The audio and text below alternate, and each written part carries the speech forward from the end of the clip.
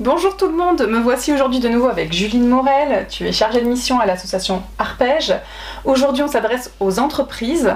Alors, pourquoi euh, l'association Arpège ne démarche pas et pourquoi je vous invite à, aller euh, contacter l'association Arpège? Alors, déjà, il faut partir de la genèse hein, d'Arpège et sa raison d'être aussi à la mhm. base. Donc, on est une association d'employeurs. On a été créé par cinq entreprises qui, en 2008, euh, ont fait plusieurs constats. Le premier, euh, qu'elles avaient reçu très peu de candidatures de personnes en situation euh, de handicap. Mhm. Et donc elles se sont dit peut-être que nous ne sommes pas identifiés eh voilà, comme entreprise ayant une politique handicap, bah, mettant en place des aménagements. et donc du coup ils ont eu envie de créer cette association aussi pour être plus visible auprès des jeunes et des personnes en situation de handicap. Euh, et ils sont partis aussi d'un deuxième constat, c'est que euh, les jeunes en situation de handicap sont beaucoup plus touchés par le décrochage scolaire. Euh, ce n'est pas du tout dû à leur capacité, bah mais vraiment dû au manque de projection. dans l'avenir, dans les métiers qu'ils peuvent exercer, dans leur autonomie, voilà, dans leur mm-hmm. avenir, ce qui n'est pas le cas pour des personnes valides, en fait, qui ont beaucoup de euh, un accès plus simple au, travail ou au stage, tout simplement. Euh. C'est ça, euh, qui ne se posent pas la question. En mm-hmm. fait, ils, savent qu'ils vont travailler. Il n'y a pas besoin de se suradapter, parce que tout est fait pour les valides. Donc, évidemment, que pour les, jeunes en situation de handicap, c'est bien plus complexe. C'est ça. Et que pendant très longtemps, le handicap a été invisibilisé. Aujourd'hui, ça a tant changé, mais il y a encore beaucoup de, progrès à, faire. Invisibilisé et connoté négativement. Et que ça fait beaucoup quand même. Hein. Complètement.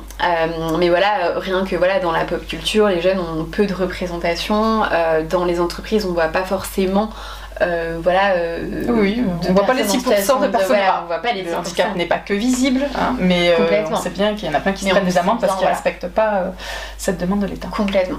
Et donc euh, l'idée c'était euh, aussi de, pouvoir permettre aux jeunes, à partir euh, vraiment de la quatrième, de pouvoir découvrir des métiers, de pouvoir se projeter, de pouvoir rêver, voilà, de pouvoir avoir plein de projets et du coup bah, de continuer le plus loin possible, en tout cas d'atteindre un objectif qu'ils souhaitent et, du coup qui, voilà, soit toujours bah, porté par bah, voilà, un projet et, c'est vrai que sans projection c'est très très dur de faire des études et de continuer. Euh, voilà, on a tous besoin euh, d'avoir ces projections euh, et savoir que c'est réalisable. Exactement. Aussi. D'avoir l'espoir que ça puisse fonctionner. Quoi. Complètement.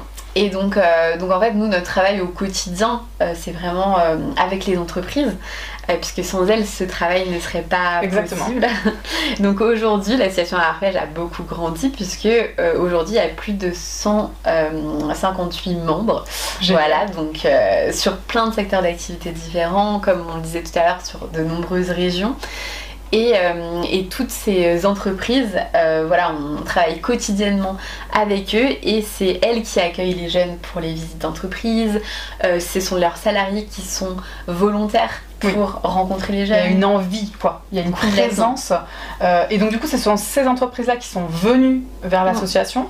Tout à fait. Donc en effet, nous, on ne démarche pas euh, les entreprises, qu'elles soient publiques ou privées, puisqu'on a des entreprises privées et publiques, euh, puisque euh, on souhaite en fait que l'entreprise, ça vienne vraiment d'un souhait, un souhait de travailler sur leur politique handicap, d'impliquer aussi leurs salariés, puisque c'est vraiment ça le concept d'Arpège, c'est que les salariés puissent s'impliquer sur leur temps de travail, sur des missions pour aller rencontrer des jeunes, pour aller accompagner un jeune en stage aussi. Enfin voilà, il peut y avoir des coups de cœur parfois entre un jeune, un salarié, et qui se disent bah voilà, moi je vais euh, euh, voilà l'accompagner dans son stage de troisième pour lui faire découvrir euh, des métiers. Et donc c'est vraiment de créer un lien, et ça permet aussi à l'entreprise, et nous c'est aussi ce qu'on dit aux entreprises, c'est que c'est vraiment un moyen de sensibiliser les salariés. et donc du coup ben, de euh, favoriser l'insertion des personnes en situation de handicap globalement, jeunes ou pas, puisque du coup, euh, elles seront sensibilisées aux aménagements, aux différentes typologies de handicap, à ce qu'on peut mettre en place. Et euh, puisque nous, du coup, avant toutes les actions, on prépare un brief avec les salariés. pour bah, déconstruire ensemble les préjugés. Il y a un gros travail quand même à faire. Mais ce que j'entends aussi, c'est que les entreprises doivent déjà avoir enlevé à minima mhm. les idées reçues validistes sur justement que c'est compliqué d'avoir un employé ou une employée qui, qui, est handicapée. Et donc d'avoir fait un minimum ce travail-là pour pouvoir franchir le pas pour venir vers vous. Parce que c'est pas rien, je trouve, cette démarche-là. Mm. Et en même temps, ça rend aussi responsable les entreprises de se dire bon, bah allez, nous, on va, on mm. va être dans la diversité, on va, on va, on va franchir le cap.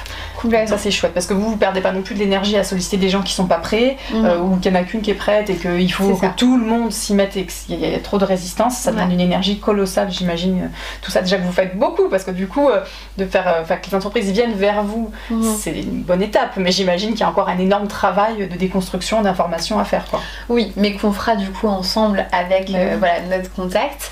Et après, pour préciser aussi un petit peu euh, voilà, sur euh, la prospection, sur euh, voilà, en tout cas l'avantage pour les entreprises aussi, c'est que nous chaque mois on leur envoie un tableau de candidature avec de nombreuses candidatures de jeunes pour des stages, des alternances, ah des emplois.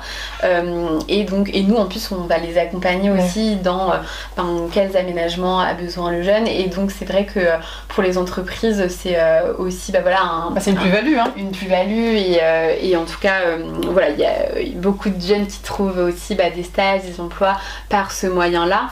Et, euh, voilà, pour, toutes les entreprises qui ont envie euh, voilà, d'être plus reconnues, comme on dit, accueillantes, de pouvoir mettre en place des actions concrètes, de sensibiliser leurs salariés et de recruter des jeunes en situation de handicap.